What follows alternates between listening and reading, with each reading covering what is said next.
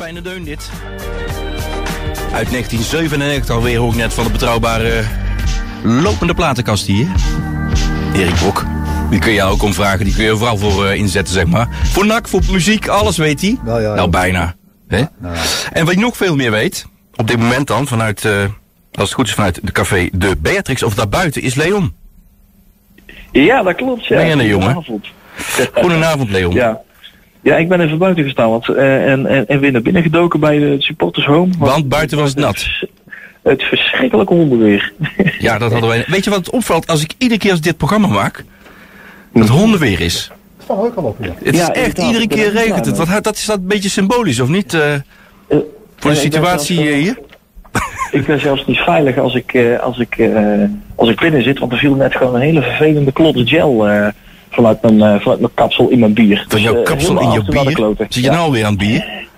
ja, daar beginnen we mee, hè, de BA. Oh, dan begin je De. BA is niet gemaakt om de koffie te drinken natuurlijk. Nou, wij zitten hier lekker aan de koffie, hoor. Hij smaakt uitstekend, eh Erik. Uitstekend. ja, die cappuccino is goed, hè? Het is heerlijk hier uit de automaat van Breda nu. Altijd met uh, gezet door de automaat. Ehm.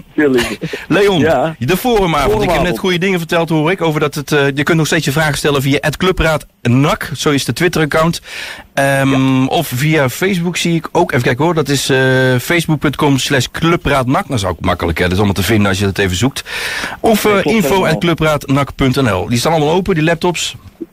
Ja, inderdaad. De jongens zitten van de, van de clubraad zitten eh, helemaal interactief, helemaal klaar eh, naast het podium om eh, de vragen door te geven. En er zitten wat ideeën bij, weet ik. Dus ja, dat komt allemaal in orde. Ja, inderdaad. Ze zijn knappe jongens. Althans, Knappe eh, jongens. ze kunnen veel. Ze zijn niet echt Ze heel zijn, erg knap. zijn niet eh, mooi, nee. maar... Ja. Wat, eh, wat, vertel even iets eh, over de setting. Eh, Ik heb al wel iets eh, laten weten aan de luisteraar, maar jij weet er veel meer. Je bent erbij. Ja, er zijn eh, veel facetten van, de van de club die, eh, ja, waar nog vraagtekens bij zijn. Waar, eh, waar onder, de, onder de aanhang nog heel veel ja, vraag, vraagtekens achter staan. Ja, maar wie zit er aan tafel? We beginnen even over wie er aan tafel zit. De Ja, setting. dat gaat, ps- ja, dus de setting is eh Justin Goedzee, algemeen directeur. En in het midden zit Joost van Mierlo. En hij is raad van commissaris. In ieder geval, hij maakt nou deel uit van de topstructuur. En hij is afgevaardigd in dat bestuur ook namens de supporters, onder andere. Mhm. En het is ook een advocaat, dus er zit er ook eh, namens juridische zaken. Eh, en daarnaast zitten we Graham Rutjes en hij is de kerstverse technisch directeur. Die al best wel hoop heeft houden meegemaakt eh, in de korte tijd dat hij er zit. Die heeft eh behoorlijke eh, kruiwagen eh, al weten te vullen in, eh, in, in twee weken tijd dat hij officieel in dienst is. Maar daarvoor was hij ook al eh, flink bezig. Ja. Die eh, is iets eerder aan de klus begonnen als dat je had verwacht. Maar dat, eh, ja, dat, Nou ja, dan ben je er meteen in, hè? Ja, precies, inderdaad. Dus eh, de eerste drie weken waren zo hectisch dat we al het een en ander van hem heel leren kennen. En ook al wat opmerkelijke dingetjes gezegd dat je denkt van, nou ja, eh, is het allemaal mooi praterij of... en hoe zei dat dan? doen? Nou ja, met, name want hij, hij eh, Jeffrey van As, eh, zijn, zijn voorganger, die heeft natuurlijk een behoorlijk netwerk. Hè? Een netwerk onder, de, onder de zaakwaarnemers, maar ook een oog voor talent. Hij stond ook, ook letterlijk vele tientallen wedstrijden in een week te bekijken. Hij ging ook daadwerkelijk eh, eh, eh, het veld in, De zeg battle, maar. het Eh, battle, even noem je dat, eh, langs de lijn staan, hè? Bij amateurs en eh, overal. ja, precies. Een rondje langs de velden maakte hij letterlijk en figuurlijk. En eh, ja, we hebben, we hebben geen rutjes wat uitspraken, ook, uitspraken horen doen in de krant en eh, op Omroep Brabant over, ja, ik ben nog niet van plan om echt langs de lijn te gaan staan. We moeten eerst eh, de, heel, de, heel deze technische tak eh, moeten we gaan herstructureren en dat bleef hij maar herhalen. Maar ik heb, een, eh, ja, ik wil weten wat nou eh, hè, de, de werkelijke stand van zaken is bij het technisch beleid. Dat, dat er nog zoveel moet geherstructureerd worden, dat je totaal geen tijd hebt om eh, ja, het veld in te gaan, langs de lijnen te gaan. En eh, ja, je oog moet oog moet houden. Want eh, we hebben Adi Brouwers en, eh, en, en Frans Bouwmeester natuurlijk eh, ook buiten als, als scouts. Maar Ja. we zijn ja, een andere setting gewend van de technische kant. Dat ook daadwerkelijk technisch directeur. Even wennen, maar hij heeft wel een, het is wel een slimme jongen, die meneer Rutjes. Dat weet ik wel, uit dat hij nog speler was. Dat hij wel een van de weinige mensen had die op een universiteit had afgemaakt Ja, onder de voetballers. Erasmus Universiteit, Erasmus in Tilburg Universiteit, dokter Anders in de bedrijfseconomie, ik weet het allemaal niet.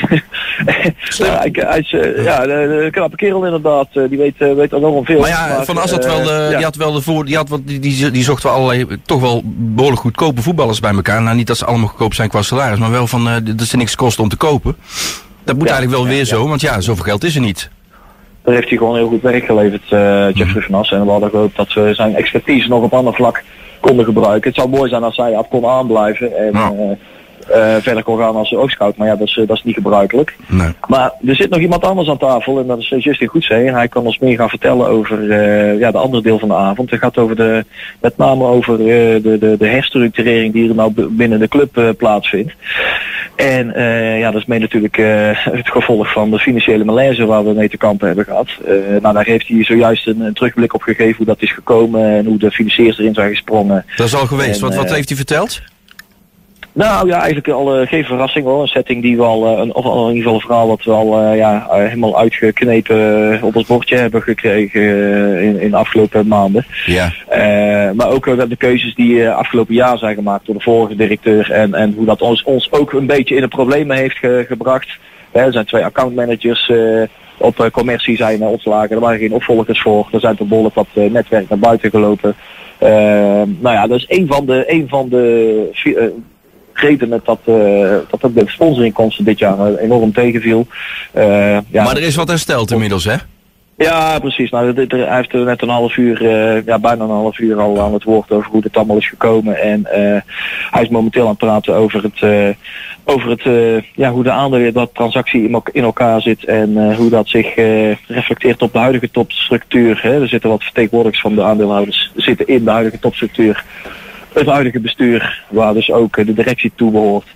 Dat is hij op het moment aan het uitleggen en wat voor gevolgen dat heeft uh, voor de verdere bedrijfsvoering. Vervolgens uh, komt er, uh, doet hij een, een uitspraak over ja, hoe het plan van aanpakken vervolgens uit kan zien. Iets wat ze ook bij de KNVB moeten neerleggen. Ze staan nou onder een soort van curatele. Ja in de zwarte categorie. Dus dat moeten ze gaan overleggen. Ja, dat, wist, dat wisten ze al, hè, dat, ze zo, dat ze weer terug zouden gezet zouden worden bij NAC. Ja, precies. Dat was een meetmoment in november. En intussen zijn we, staan de, hangt de vlag er totaal anders bij. Maar ja, dat meetmoment, eh, daar krijgen we nou de, de rekening voor betaald. We staan dik onder curatelen bij de KVB. En ja, dat, dat, dat, dat vergt wat aanpassing uh, in, de, in, de, in, de, ja, in de huishouding, zeg maar, zou ik het zo ja. zeggen. Uh, nou ja, plan van aanpak, dat heeft dus uh, volledig met de toekomst te maken. En ja, het zal we hopelijk uh, krijgen we iets meer duidelijkheid over, uh, over wat de toekomst ons gaat bieden. Maar uh, Leon, ik zou willen voorstellen dat jij even, even naar binnen vertrekt. Want dan ja, kun je even meeluisteren weer een kwartiertje. En dan, dan bel ik jou straks nog even terug voor een tweede update. Dan kunnen we nog wat meer ingaan op de situatie daar bij de forumavond. Hoeveel man zijn er trouwens? Het valt me niet tegen. Ik denk een man of 60, 70. Ja, dat is altijd wel mooi. En altijd een beetje de mensen die er ook echt iets over te melden hebben, hè? Ja, precies. Maar het hadden er meer kunnen zijn als wij niet hadden verklapt dat we een live verslag zouden doen. Oh, zo is het. Oké. Okay. nou, tot straks, Leon. Tot zo. Dankjewel, tot zover. Miss Montreal, de nieuwe van haar. Say Heaven, Say Hell.